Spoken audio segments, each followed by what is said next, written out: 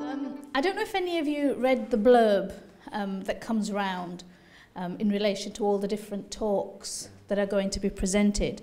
Um, and I don't know if you saw, recognised um, where I had plagiarised my introduction from. Did anybody recognise this? No. No? My, my, my sort of the heading for, for the session is called Prevent an Unexpected Journey. Um, and that quote was plagiarised from The Hobbit. Oh. Um, when Bilbo Baggins talks about this unexpected journey that he went on. Um, and in a way, um, I suppose that's how it was for me, because I ended up in Prevent, not actually ever expecting to work in Prevent. Um, but to start off, I want to tell you um, a story, a very personal story um, about something that really opened my eyes to what was happening around this agenda. Um, and it relates to an incident in May 2016 when I was contacted late one afternoon by the local police where I was living. Um, and they asked me to come and attend a meeting in, in the headquarters that was all very cagey. Um, they said, if you come, we'll, we'll explain what it's all about. And it turned out to be one of these um, independent advisory groups that the police set up when there's some sort of a serious incident that's, that's taken place. Um, and when I got to the meeting, I discovered that four young men, four international students um, from our local university had been arrested under the Terrorism Act and they were currently being taken to um, the local police station where they'd set up one of these um, sterile rooms in order to do all the sort of necessary bits and pieces that they do when you're arrested as a suspected terrorist. Um, and it had all related to um, a fifth man who earlier that morning had gone to see his GP. He'd been feeling very unwell. Um, he'd gone to see the GP, he'd come out of the surgery, was walking down the road, um, and he'd collapsed. Passers-by called an ambulance, they took him to the hospital, and he went into a coma. Now, the hospital staff somehow or another managed to get access to his mobile phone and to his contact numbers, and they dialed the last number in his phone that he'd rung. And it just happened to be um, a fellow student, one of the four who'd been arrested. And the nurse explained the situation to her, told her what had happened. Um, and the student said, um, I'm coming to the hospital. But before going to the hospital, he called his other friends to tell them what had happened. And if any of you sort of know any international students, you, you'll probably know that when they come over here, they come to the universities, they don't have any families around them, and they very quickly bond. Um, and they become a family within their own right. So these guys were sort of ringing round, telling each other what had happened to their friend, and they all said, right, we need to get to the hospital. So these four students um, turn up at the, the hospital Um, they're standing around their friend. He's actually gone into a coma. Um, the hospital staff don't know what's going on with him. They're very worried. They're, they're talking very loudly, trying to find out who they need to contact. Does anybody know some of his family who live down in London? And somewhere in all of this kerfuffle that's taking place, the nursing shift changes um, and new staff come onto the ward. Um, one of the four friends who'd come to see this guy in the hospital had to get to London for an urgent meeting. So one of the other guys said, I'll drive you to the station and then I'm coming straight back. So two guys head off to the railway station, leaving the two others in the hospital. Um, in the meanwhile, um, a nurse who is examining the patient comes to the conclusion that some of the marks that are appearing on this guy's body um, are chemical burns. Um, she found it really suspicious that these four foreign guys were hanging around him, um, were panicking, were talking a strange language, um, and she believed she heard a ticking coming from his rucksack. So she called the police.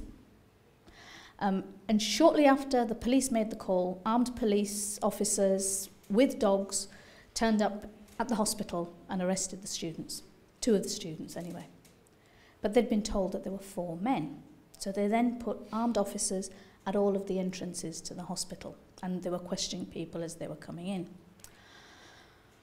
There was a fifth friend. I mean, it does begin to sound a bit like a carry-on movie, to be quite honest. There was a fifth friend who was working, um, who had heard about his friend. And as soon as he was able to leave work, he left work, got into the car, drove home to his heavily pregnant wife and says to her, um, I'll be back in an hour. I need to go check up what's happening. In the meanwhile, student number three, who'd gone to the railway station, turns up at the hospital, finds all the police there, and at the minute he gives them his name and tells them who he's coming to see, he's arrested. So they now have three guys.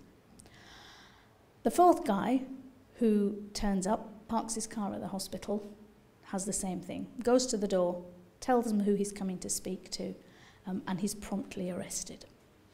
So they have their four suspected terrorists in custody and are taking them to the local police station. What didn't help matters was the fact that um, the Queen was visiting the town on the same day, so local tensions were a little bit high as well, I must admit. Um, and to be quite fair, and, and you know, don't, can't knock the nurse in this, she was actually following the only procedures that she had. That if you hear and see anything suspicious, you need to contact the police, which is what she did. This was in 2006, when the police, the counter-terrorism police, were the only people that you could actually speak to if you were worried about something around terrorism bearing in mind this was, you know, what, less than, less than a year after the 7th of July bombings as well. Now, all four of those guys were released within 48 hours um, because it was pretty evident as soon as they'd got them into the police car that, you know, a really, really big mistake had been made. What I won't forget is the look of absolute horror in their eyes when I went to collect them from the police station. Um, and myself and my family spent the next few days with these guys, basically letting them relive the experience that they had had. They never told their families what they went through because they'd come to this country quite simply for an education. Um, and they wanted to get back to their studies. And as one of them said, you know, my parents started saving the day that I was born so that I could get an English degree, and I will not disappoint them. What happened to the student who was taken ill? Sadly, he died. The chemical burns um, were actually his body reacting to some hair regrowth treatment that he'd bought while he was in Pakistan. Um, he was due to get married. He was worried about his hair thinning out, and unfortunately, his body just completely shut down as a result of this stuff. The ticking in the box was a clock quite simply. The nurse did hear a ticking, but it was a clock. Um, and Pakistani students, Pakistanis generally, you know, when we get excited and we speak Urdu, we te do tend to start speaking quite loudly as well. So you can sort of see where this sort of this panicky, worried thing might have come from. Um, and yes, you know, a nurse picked up the telephone and called the counter-terrorism police. There wasn't anything else that she could do. But this was 12 years ago. Um, and our approach to counter-terrorism has somewhat changed. Um, and for those of you who may be familiar with um, our counter-terrorism strategy, um, it consists of four Ps.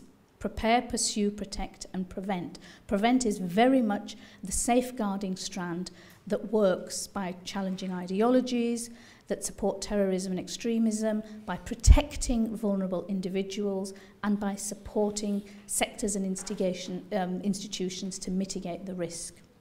Prevent is very much that strand of the counter-terrorism strategy, which is about trying to support people who might not have done anything wrong, but there is a risk that if they don't get the support at the right time, then there is a chance they may go down a completely different path. You may also be familiar with the Counterterrorism Security Act. Now, this came into effect um, in 2015, and what this did was place a duty on relevant authorities to pay due regard to the threat of terrorism. And there's, there's all sorts of conversations that are taking place um, around what due regard means and, and how do we do that. And you can see, hopefully, um, a list on there of some of the areas that you know we actually work in to try and make sure that institutions and individuals receive the right help and the right support around this um, particular you know agenda. Um, and sadly, you know, when we talk about threats of terrorism, it's a threat that we've seen, unfortunately, played out a bit too often. Um, since June 2016 to the end of last year, um, we had six major terrorist atrocities.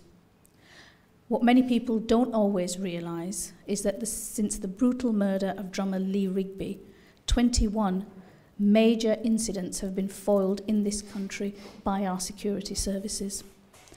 Over 300,000 items of terrorist related material have been taken down from the internet since 2010.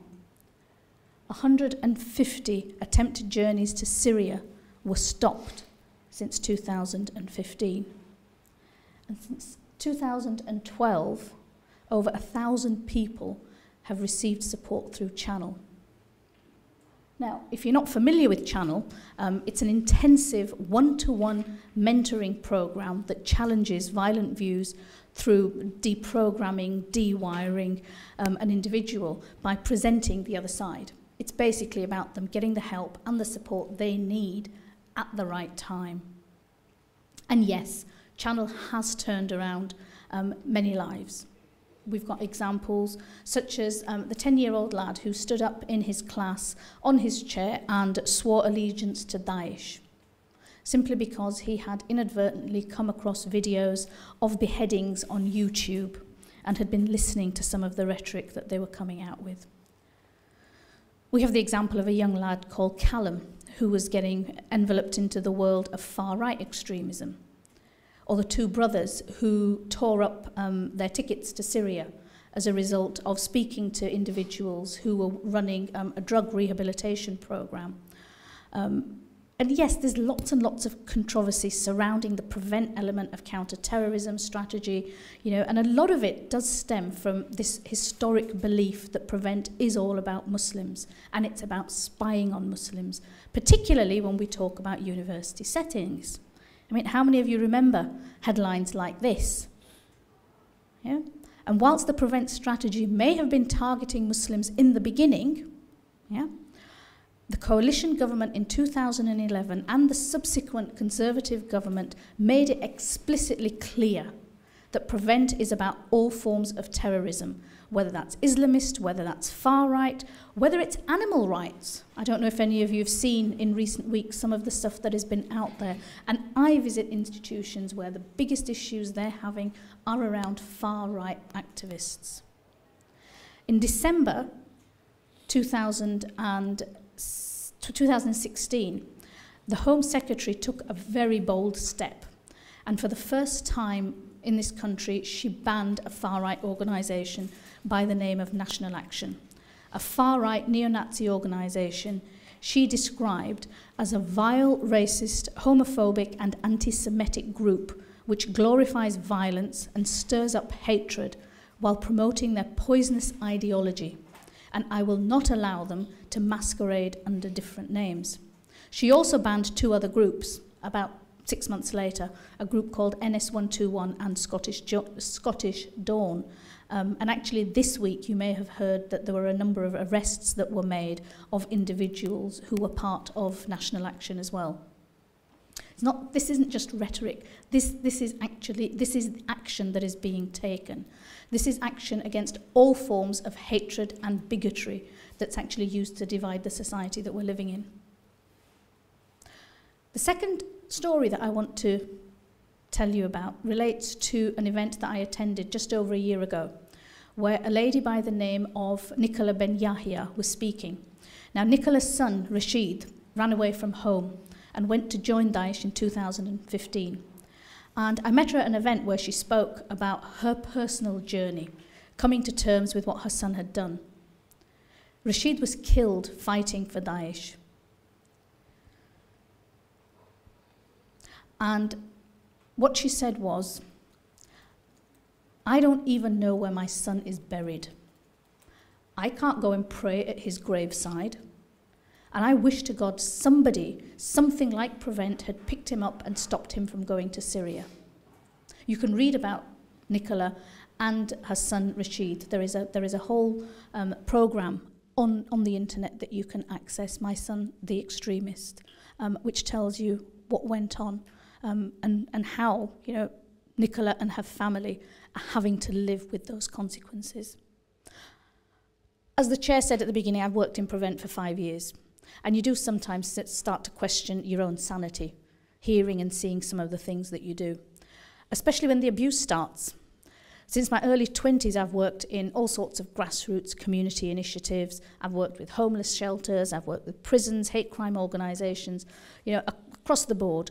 Um, but it tends to be around um, working with a whole range of causes that affect the quality of life of groups and individuals, vulnerable individuals, and attempting to build bridges between communities.